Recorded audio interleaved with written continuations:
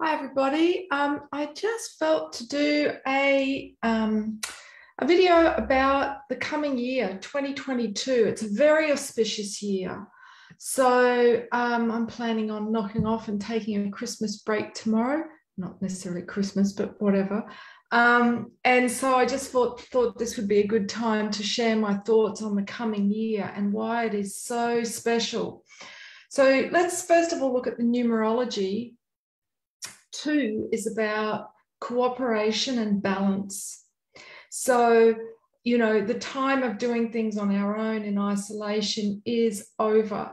And it's because we've been coming up to this very auspicious portal of 222 that um, there has been uh, a leveraging of division and imposed isolation but nothing can stop us coming together in unity in the year 2022.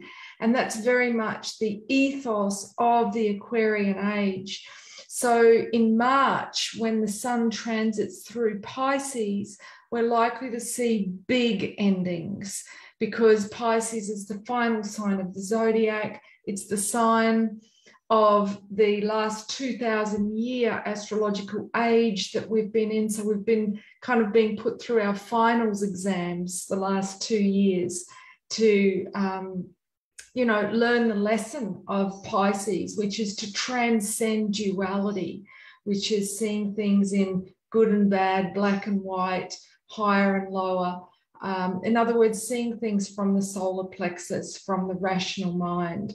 So, um, yeah, it's going to be a pivotal year, a year of very big change, 2022. So it's kind of like the last two years have been a gestation in preparation for this. So if we think about, um, you know, uh, two, it's it's about people finding their power through coming together. And my late astrology teacher, um, Warwick Sayer, he used to speak about trans Pluto, which um, hadn't been discovered, but it's the opposite energy of Pluto. And Pluto, it finds power through blowing things apart. And when Pluto was discovered in our solar system, that's when we were exploring atomic energy and just blowing shit up. and likewise, we've blown apart the family unit um, just so much of our structures of society have been blown apart ever since Pluto was discovered. So now we're coming into the time of trans Pluto, which is finding our power through community, yeah, through communion, through the power of union. So that's, um, you know, what this portal of 2022 is about. So, um, I'm going to speak now about uh, relationships and relating because, two, it puts a real focus on relationships. So, 2022 will be a year when a lot of people start new partnerships, leave partnerships, you know, and it's going to be highlighting our relationship lessons. So, um, I'll just um, do a little bit of a preamble first. So there's three, I suppose you'd call them levels. I don't really want to get hierarchical, but um, levels of, of relating, okay, of relationships. The first is a soulmate union.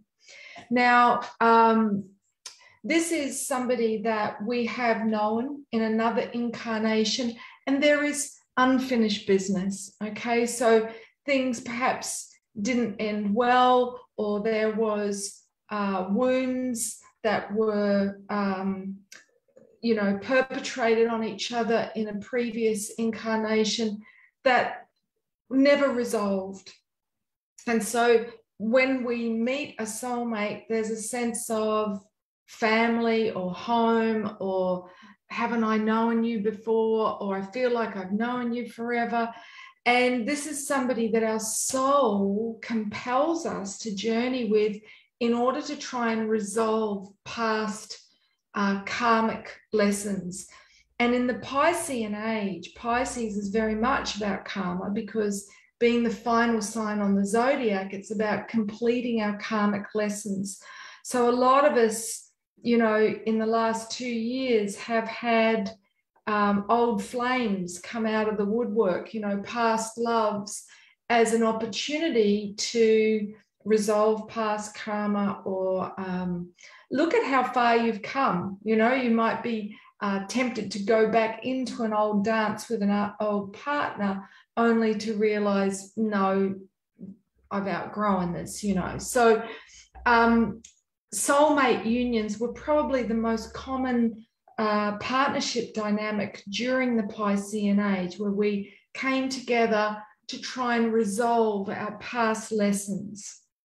Now, those that are in soulmate unions currently, the questions to be asking yourself are what are my karmic lessons? So, how do we identify that? What are the repeated patterns that I'm doing in relationship? Whether it's with this person, whether it's with past loves, yeah, what am I finding that, you know, are the same old familiar groundhog kind of dances? Yeah.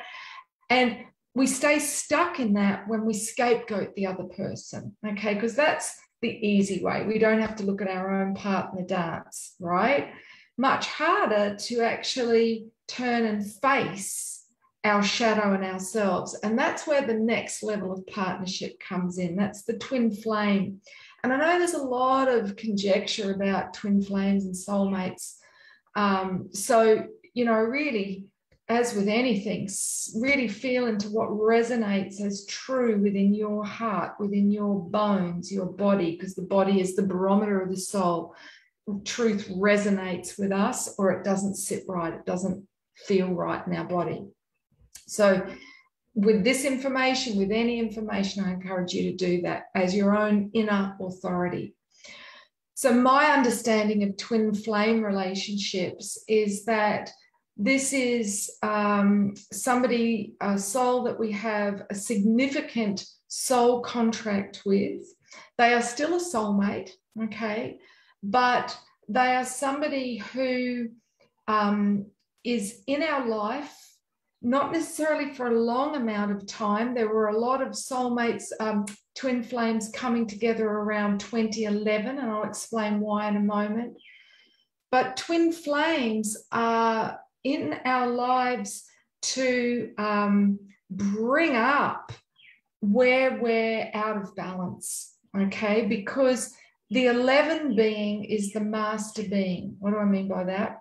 Somebody who has raised the twin serpents within themselves. These are the meridians of sacred feminine and sacred masculine consciousness that uh, dormant within the base of the spine, within the nervous cord, and, and when we're initiated um, into the ancient um, Grail um, practices called the descent of Ishtar or Inanna and the descent of Orpheus. And these are initiation paths for men and women to descend down into the subconscious, into the underworld, and to um, see the shadow and the light. So, the strengths and the weaknesses of each of the seven faces of the feminine and the masculine that together comprise the psyche, which means soul. Because we're all feminine, masculine, and we're all multifaceted. So, these archetypes, these seven faces of the god and the goddess, um, they uh, together comprise our soul. So, when we understand and empower these different facets, we activate these meridians, these serpents of light, the twin flame within, all right? And that activates an internal intensification of Kundalini, which is serpent power or dragon power, and that um, purifies, okay? So we get put through an acceleration of karmic lessons, like being in a crucible, you know, just like a, a um, sword is forged in very, very intense heat. Uh, we are forged and accelerated into a new level of awareness through the meeting with the twin flame. So, twin flame relationships are often very intense. They're often, um, you know, feeling like I, I um, can't live with you, but I can't live without you. And I've, I've done videos about this many years ago on my YouTube channel, but also my book, Creating Sacred Union Within, which is available on my website, themoonwoman.com. Um, I speak about this in a lot more detail, and it's also a template for activating the master being, the, the sacred marriage within, which is the preparation for the meeting with the beloved. And I'll get to that in just a sec. So, with the twin flame, there is an intensity, okay? And the reason for that is the serpents, uh, they, they get activated. There's often a very intense sexual, magnetic, erotic attraction to the twin flame, um, bordering on the po- point of sort of obsessive compulsion or addictive love. And it's because um, the, the work that these souls have come together to do is so important, okay, that it has to happen, even though it's sometimes excruciating. And the reason for that is, you know, the serpents rise and they um, they come together in the base and they literally like the serpent's fangs, they prick the, the base chakra and they bring up all of the shadow all of the unacknowledged aspects that you haven't seen in yourself. And they bring it up because they're often your extreme polar opposite, all right, which is why the attraction is so intense. If we think about magnets, opposites attract. So, the role of the twin flame is to um, basically show you your shadow um, the parts of yourself that, or your unexpressed potential. So that's your strengths as well as your weaknesses, that which you have been blind to in yourself, which you need to see in order to become whole. So, um, you know, that's um, something a lot of people have been journeying in the preparation for the year 2022. Now, this is an opportunity for those who have done the, the inner work and the preparatory work, um, this is a time of the beloveds coming together. Now, what is a beloved? Well, another name for them is the divine complement. So, this is another being who has awakened the twin serpents, which in the energy field is the caduceus, which has been appropriated as the medical symbol, but it's the, the twin serpents on the central pillar, the nervous cord. And this is a being who is whole. Now, it doesn't mean they're perfect, all right? We're all perfectly imperfect so long as we're in a body, but it means that there is a level of awareness of one's archetypal selves, both feminine and masculine, at each of the seven gates. So one identifies as a multi dimensional soul. Okay, they're not basing their identity just on, you know, one or two uh, aspects. You know, this is somebody who um, is operating at all seven levels of their soul. So, famous beloveds have been couples like, you know, Sheba and Solomon, or Yeshua and Mari, or King Arthur and Queen Guinevere you know, these are legendary lovers, all right? These are partnerships that embody the holy couple. And what is the holy couple? Well, these are beings that have come together as two 11 master beings, those that have awakened the masculine and feminine and found a balance within those polarities themselves. So they're like the high priest king and the high priestess queen. All right. And in the ancient advanced civilizations of Mesopotamia and Egypt, you know, one didn't get to become a queen or a king unless you had also done the awakening of serpent power of Kundalini in the mystery schools, in the temples. And that's why, you know, the Egyptians had the, the cobra insignia on their, their headdresses, because it identified that they had raised their um, their consciousness to a point where they could be responsible with power and not abuse their power. So the holy couple, when they come together, it's the frequency of 22. In numerology, 22 is the master builder. So what are we doing in 2022? We're going to create the new earth. And the new earth is going to be created through love. When beloveds come together, their manifestation powers are exponential and they initiate each other through the hieros gamos, through the practice of sacred union in alignment with the seasonal vortices of the earth. They anchor um, heaven on earth into the geomagnetic uh, grid of the earth um, through um, invoking the god and the goddess through their vessels and um, sending that energy um, through the climax into the grid of the earth to literally help to balance the polarities of feminine, masculine, light, and shadow on the earth plane within the group mind and within um, the physicality of our earth mother. So these in the Grail tradition were known as dragon kings, dragon queens, um, those that would be journeying the path of um, the Hieros Gamos. And this is why the sacred kings of old had dragons tattooed on them and they were buried on the dragon lines in honor of the service that they had done uh, for the mother, the earth mother. So this is a very auspicious year that we're coming up to. So um, if we think about the year 2022, it's got three twos in it, which adds up to six. What is six? The visionary, the number of harmony, the number of the heart chakra. Okay. Yes, it's the fourth chakra, but it's symbolized by the six pointed star, which is a perfect um, integration of the holy trinity of, um, you know, the divine masculine, the Holy Father, Holy Spirit, Holy Son, and the sacred feminine. So the triple face goddess, maiden mother crone, you know. So it's the coming together of sacred feminine, sacred masculine, which is why there has been such an acceleration of um, destructive programming in the precursor to this to try and anchor fear. But fear is no match for love.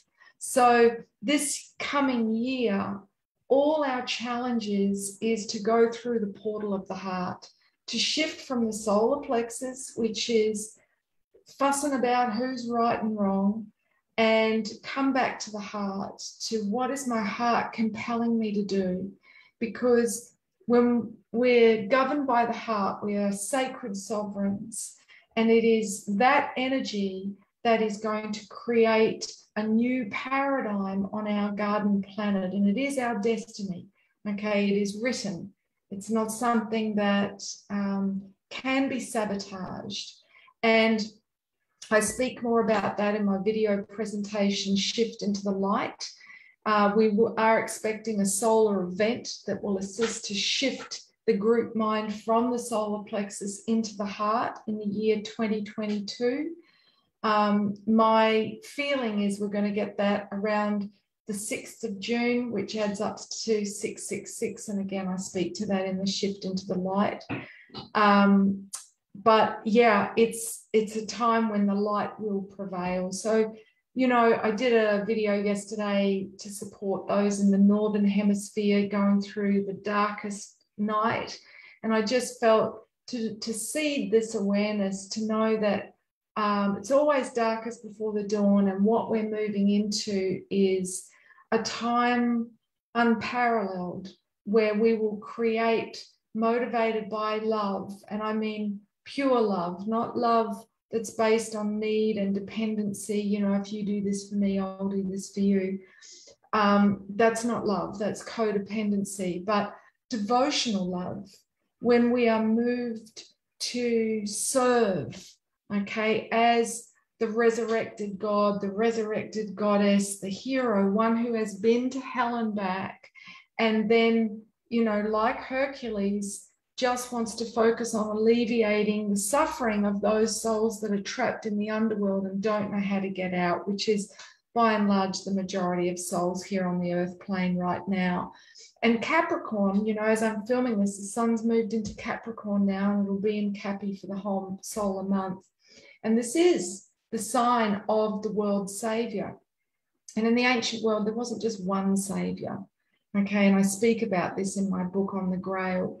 The Holy Grail was the rite of passage to awaken the world savior in every man, and Rome distorted that, um, which has had you know serious ramifications for the earth and her children.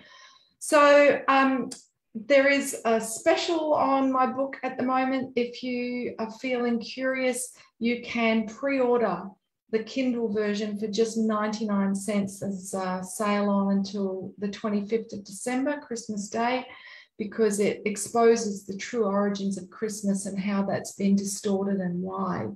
So when you pre-order, you get instant access to the three um, first three chapters, and then the rest of the book uh, will be available. The official launch on the 22nd of the second, 2022, because it is about stewarding our return to love by mapping the ancient religion of love um, prior to the empires, which was the Grail. So uh, have a beautiful festive season and, and safe New Year's and yeah, celebrate love however you feel to do that. All right, thanks so much for watching and listening and feel free to share this if it resonates. Ciao for now. Figure out where to turn this off.